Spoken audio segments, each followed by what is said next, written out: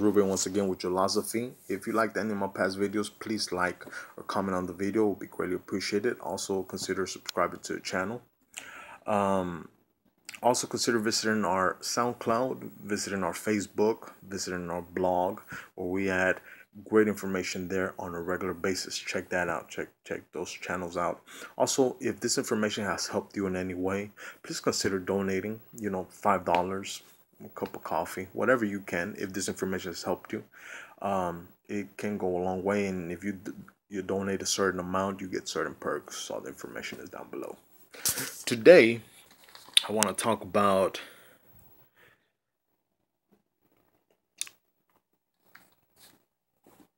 how you create your reality. You create your reality. We talked about this, how you are in charge. You are the head honcho. God, the entity that created you and everything else, gave you that power. You know, if you look at the biblical scripture, it talks about how God created man in its image. It created you in his image. Another verse says, The kingdom of heaven is within you. You were created in God's image. The kingdom of heaven is within you. God breathed his life into you. His life into you. Another biblical scripture.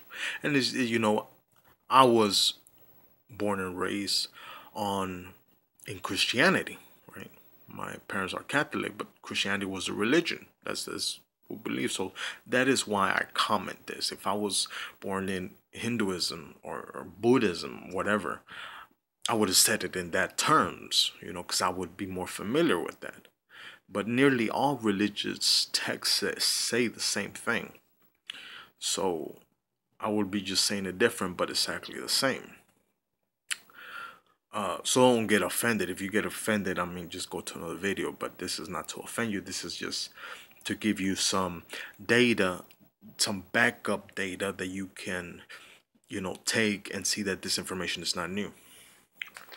So you're creating God's image. God breathed his life into you. You are not, I'm not saying you're God Almighty, but you are God Almighty. I mean, you're part of Him, you come from Him. you know you cannot be destroyed or anything think about this uh, there's a lot of, of you know the whole idea of hell think think about that idea it's something i've always wondered think about like you know how, how in christianity they say hell like if if, if you're uh, such bad of a sinner you you will go to hell right and you will go, be in hell for eternity. It'll be like an eternal damnation. That's what they say, right? But think about this.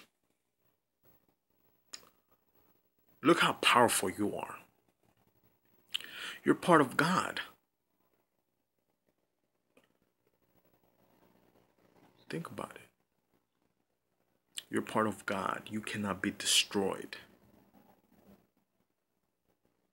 Not even hell would destroy you. You'll just be in eternal damnation. But you cannot even be destroyed. You know? Think about it. Wouldn't it just be easier for God to just get rid of you? But how can he get rid of his him his own self? You see?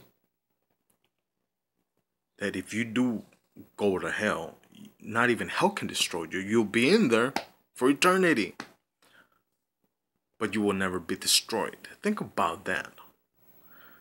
Think about how powerful God made you. And you're so precious, He will never destroy His own creation. He can't. It's part of Him. God breathed His life into you. Were created in God's image. Think about that. so, saying that, you are powerful. You have dominion over, you know, every single thing that you want in life. I'm not saying people, because each person is just like you. They have their own right and choice to what they want to experience. And no matter what is thrown against them, they can overcome it if their emotions are right, because their emotions are what you're, you're calling forward. You create your whole reality. If you have a challenge that arises, trust me, you created your that re, that that challenge. It's either gonna, you know, break you and then make you, or it's it will pretend to break you, but it's really not breaking you, it's really making you. It just depends how your thinking and your emotion is at that at that moment. That is why this getting this information on a regular basis is real important. So you create your reality. You're powerful. Law of attraction. Everything around you. Whatever happened to happens to you today, whether good or bad, you created it. And that's the hardest thing for people to understand. But once you get to this information more and more, you'll begin to understand because you'll experience it in your own life. What I'm telling you. And how do you create that, that reality, right? Well, think about this every single thought that you have, every single emotion that you have. That's what life is based on, right? Thoughts and emotions. So, whatever those thoughts or emotions are, I want you to imagine that it's a vibration. It's it's more like an energy, like a gas energy that you put out. And that energy reaches the whole universe. It reaches the whole universe till its last drop in that instant. And from there, the universe will give you that. So let's say you have thoughts and you have feelings of joy. Mm, you have feelings of feeling lucky. You feel lucky. You're like, man, I'm feeling lucky. I'm feeling lucky. I feel I could go to a casino right now and I could hit a jackpot. Or I could feel, you know, I feel that something good is about to happen. You feel this great positive emotion. Well, that thought, that emotion is a vibration or an energy or a gaseous, uh, sort of a gas like that is put out all throughout the universe. And you're basically speaking to, you know, you're basically speaking, is like speaking to God, you know, asking for the prayer. I want this. You know, in the Bible it says, You have not because you ask not.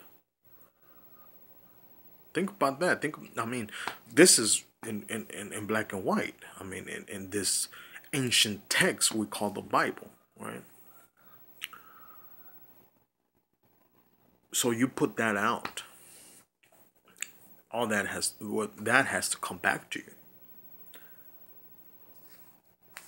And nobody else is thinking for you. Nobody else can think for you. Nobody else is feeling emotions for you. Nobody can feel emotion. I may, you may be my best friend, and I may wish the best of the world for you. And you may be in a, you know, horrible challenge. Your challenge right now may be strong. You're the only one that can handle that challenge. You're the only one that can overcome that challenge. I cannot do it for you. As much as I could feel, as much as I could think, as much as I could pray, I could, I could, you know, you know, be 24 7 in a church just praying for you. I still cannot do that. I do it for myself. I can do it for myself, but I can't do it for you because it won't work. I cannot think for you. I cannot pledge plague to God for you, you know, to the universe for you. Only you can. That is why you and only you create your own reality. Nobody else does. See, that's a big challenge people have.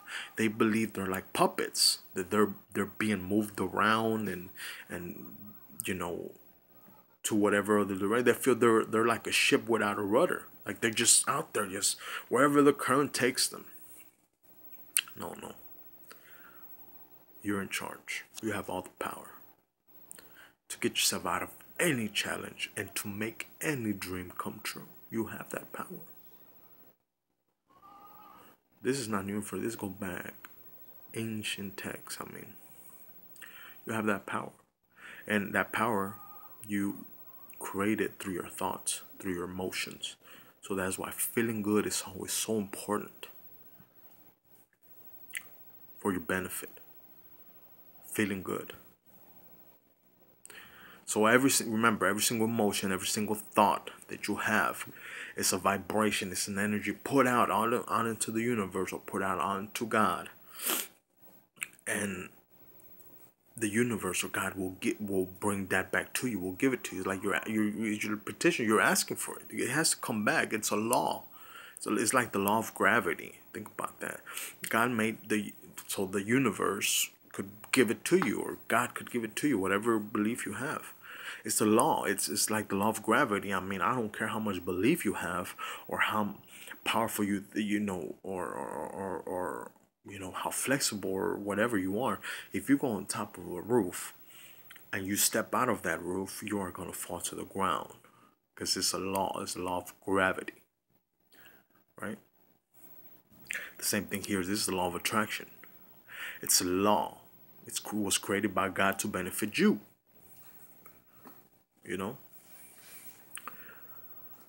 And then in the biblical scripture talks about how angels are there to assist you. Like they're there for you to assist you. Specifically in the New Testament. Talks about in the Old Testament as well, but it talks about how the angels are there to assist you. Right? There's this this whole um, uh, this whole talk about angels and how angels are are like there are millions and billions of them in, in heaven and how they're there to assist you. And specifically in Catholicism you know they they believe that you have an angel guarding you. Your your guardian angel right? Your guardian angel is there to to assist you. Whatever you need the angels are there to assist you. Well, that could be true. Think about it. Same thing here. That's all we're talking. You're you get to ask for whatever you want. Remember, you you have not because you ask not. That's a biblical scripture. The way you ask is by mouth. You can ask by mouth, but mainly it's your thoughts and it's your emotions, your feelings. That is what goes out. It's not the words. It's the feeling. It's the intention that goes out. I hope you enjoyed this video. Uh, if you did enjoy this video, please like, comment, or subscribe to the channel. It would be greatly appreciated. Um, see you guys next time.